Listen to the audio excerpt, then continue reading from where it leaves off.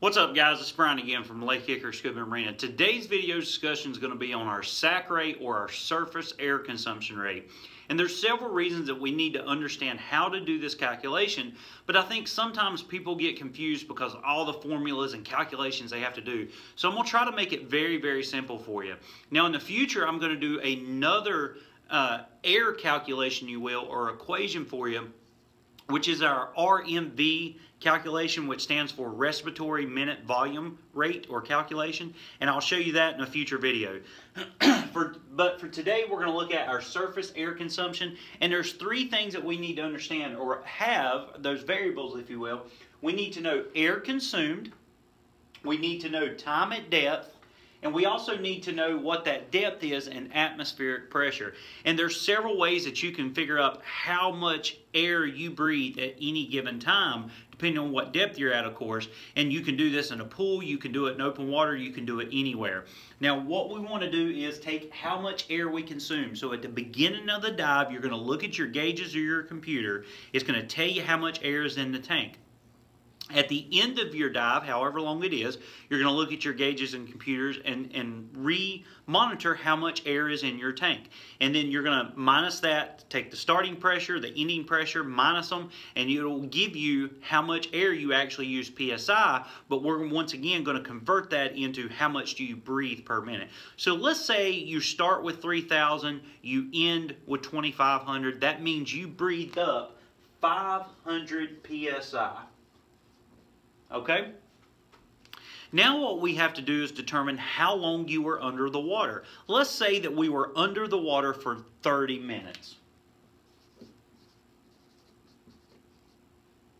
And now what we need is the depth. How deep were you? Now for easy calculation today, we're just going to be using 33 feet and we're going to be doing a saltwater calculation, not a freshwater calculation. So we're going to say that we was at a depth of 33 feet of salt water. Now the reason I put salt water there, you could very easily do this with fresh water, but it's very important to understand if it's salt water, our calculation is going to be slightly different than if it was fresh water, and that's what I'm going to get into next.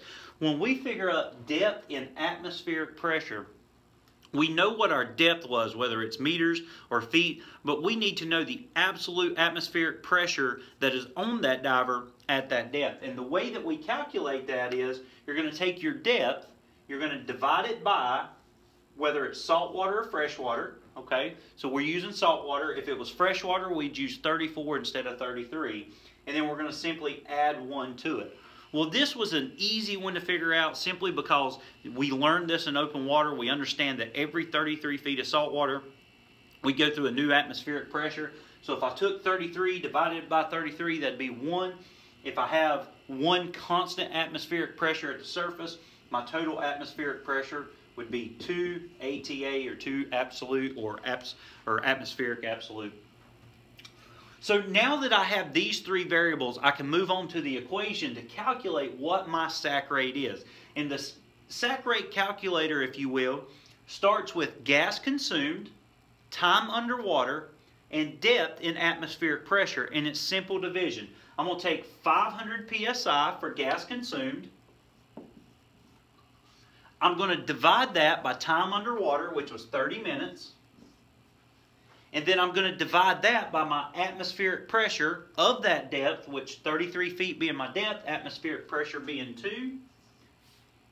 And that will give me my total PSI consumed at the surface or at that depth if, as if I was at the surface. So it's real easy math. We use a calculator here. We take 500 PSI, we divide it by 30 minutes underwater, and divide that by two atmospheres of pressure, and that gives me 8.3 8.33. And that 8.33 is how much PSI a diver breathes per minute.